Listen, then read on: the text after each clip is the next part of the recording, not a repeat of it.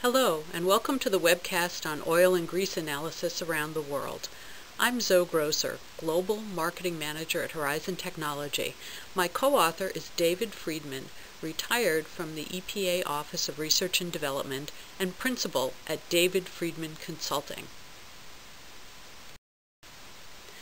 As a chemist, when I first heard oil and grease, it just seemed crazy to me. It's a very imprecise kind of measurement but it does have a use, and we show here the definition. It's defined as any material recovered as a substance soluble in the solvent. So actually in Europe you may hear it referred to as hexane extractables. So the principal types of compounds that are included in oil and grease analysis are fats, soaps, fatty acids, hydrocarbons, waxes, oils.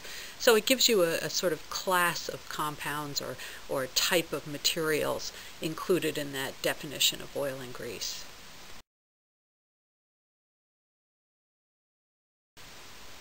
This chart shows the dissolved and dispersed kinds of materials that you'd find in a total oil and grease measurement. It's from an excellent chapter by Ming Yang, very helpful, a lot of information, and I'd recommend it to anyone who wants more information on this kind of uh, measurement. So now that we've talked a little bit about the definition of oil and grease, what would we use it for? Well, we can use it to identify instances of soil and water contamination by hydrocarbons. And this is a very useful kind of diagnostic. It's general, it's easily applied, it's simple to uh, perform. It's also used to protect wastewater treatment facilities. For example, their processes are very specific, and if you end up with an overload of oil and grease, you may kill the bugs that are doing the right stuff. You can use it to prevent sewer line failure, and there's a picture showing fats, oil, and grease built up in a sewer line and may actually eventually clog it. And the picture at the bottom is actually from a very nice video that was produced by Sewer Water Magazine, and you can go online and find that and see them actually working with facilities to reduce the fats, oil, and greases that go down the drain and aren't trapped and can cause uh, sewer line failure. And it can also be used to control pollution, for example, discharge uh, permits. So we'll talk a little bit about that as we go. Here we have a few examples in U.S. environmental programs where this kind of measurement would be used. We've already mentioned the Clean Water Act's National Pollution Discharge Elimination System and the permitting of industries to discharge wastewater into public waterways. The Leaking Underground Storage Tank Regulatory Program is another example, and certainly in petroleum exploration, this would be a very useful indicator of pollution.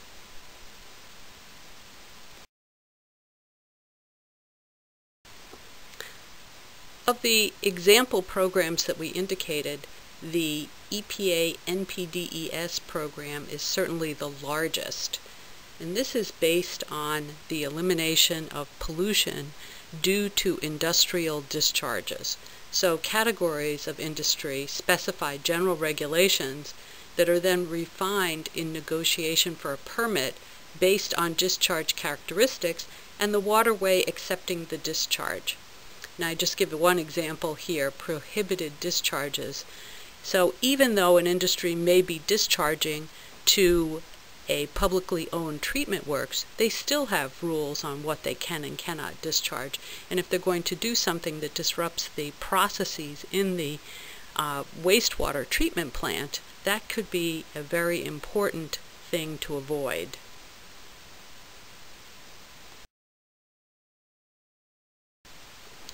On this slide, we see an example clipped from the Code of Federal Regulations. This is for farm-raised catfish processing subcategory. And you can see that oil and grease is listed as one of the effluent characteristics that should be monitored. And they give both a limitation for any one day and for an average over 30 days, indicating that, you know, they understand that there's certainly going to be some variation over the course of time but it does give a very clear indication of what would be allowed coming from that industry into the waterway or into the publicly owned treatment works and would be refined then with negotiation for a specific permit.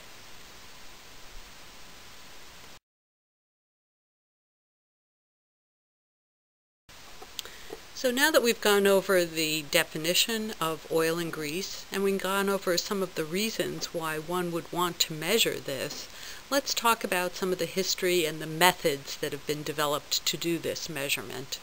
The earliest documented method was in the early 1930s. 500 milliliters of wastewater was evaporated to 50 milliliters, neutralized with HCl, evaporated to dryness, and extracted with a solvent. So they dried the wastewater first before doing the extraction. This was inconsistent, didn't include fatty acids, and was extremely time consuming.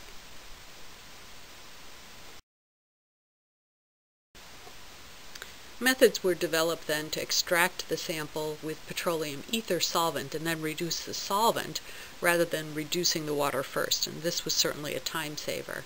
Now, petroleum ether is a mixture of different kinds of compounds, and that was replaced by the more uniform N-hexane, which did provide a significant portion of petroleum ether in the first place, so it didn't make the results all that different. Hexane was further replaced then by Freon 113, which reduced flammability while yielding similar results. Now, infrared analysis was introduced as an alternative to gravimetric measurement, and it worked very well with Freon 113 because it's uh, invisible in the infrared. And this increased sensitivity and required less solvent evaporation. However, the system's more expensive and may require more skill to operate. In 1989, use of chlorofluorocarbons began to be phased out due to the Montreal Protocol, so they went back and replaced the chlorofluorocarbons with N-hexane.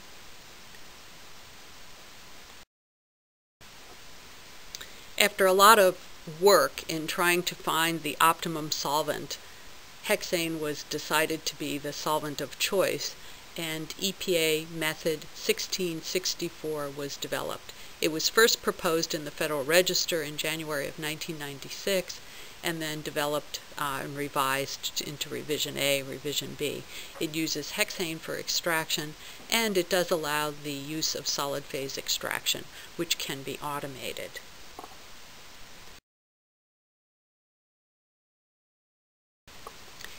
Here we show some of the equipment that could be used to automate a solid phase extraction of the wastewater for oil and grease. It also includes an evaporation step and there is a device here, the SpeedVap, for automation of the evaporation step as well. So the entire process can be automated more easily when solid phase extraction is incorporated. People around the world often look to standard methods for methods to do environmental analysis. And this slide shows a clip from Standard Methods 5520 showing some of the changes in solvent over the editions of standard methods that have come out over time from 1965 to 1998 showing how standard methods had changed solvents along with um, the US EPA for a variety of different approaches to oil and grease measurement.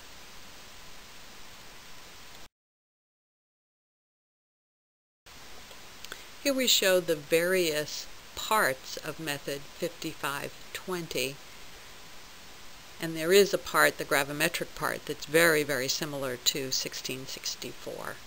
We also show an ISO method, 11349, which is very similar to method 1664. So there is utility seen around the world in standardized regulatory methods for oil and grease measurement.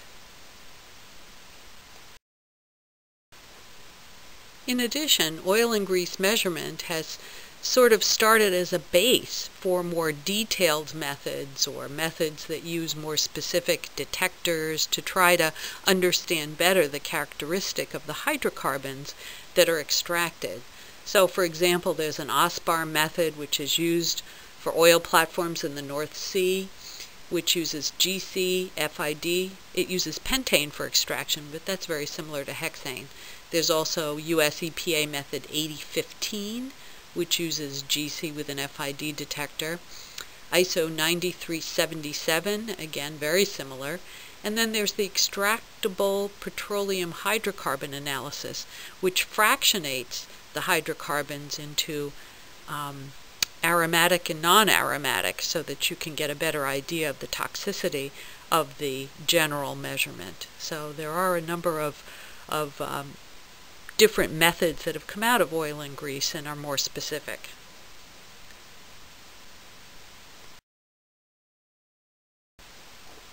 I spoke to a number of Horizons partners around the world to understand better how oil and grease, or if oil and grease measurement is done in their country, and sort of a little overview of the kinds of, of uh, considerations.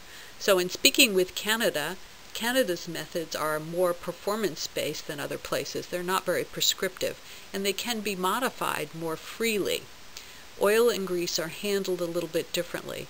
They may be trapped at the wastewater treatment plant and then used for energy generation, so it's seen as a benefit. Industrial wastewater is regulated similarly to Europe, where the amount of contamination determines the discharge payment. So Europe and Canada have taken a little different approach than the US, where rather than regulating the amount that can be discharged, they charge for it. So there's an economic incentive to having a smaller wastewater discharge. In the Philippines, they use a gravimetric method with a petroleum ether extraction. Now it does mention also standard methods here, so that's one of the areas where they're referring to standard methods for some guidance on how to perform this methodology. In the Philippines, they have a similar kind of discharge regulation. It's more general than in the US and doesn't have as many industrial categories, but here they've categorized any plant, manufacturing plant, with a BOD value greater than 300 milligrams per liter and some other characteristics that oil and grease in going into inland waters should be only 10 and for coastal waters 15.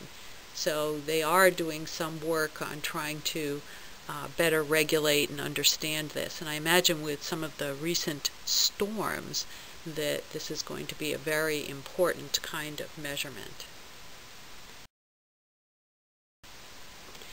In Brazil, CETESB is the regulatory agency, and they use both EPA method 1664 or standard methods 5520, and they use hexane as the extraction solvent. They have both water quality standards and discharge limits. And this shows some of the water quality standards uh, for bodies of fresh water. And for oil and grease, virtually absent is the regulation uh, statement. So they are very concerned about the quality of their waters as well. Here we show the effluent discharge standards and the relevant parameters that are listed for a power plant, El Paso Energy International, and you can see oil and grease is listed both by their limits and the World Bank limits. So I thought that was kind of interesting. There was someone at uh, my Pittcon talk from Brazil, and he said that we pretty much had this right. So I thought that was really uh, interesting comment. Malaysia has been regulating the environmental aspect of their industry for quite some time. And here you, you see the uh, parameter and limits of effluent standards. And this is A and B depending on the kind of water body.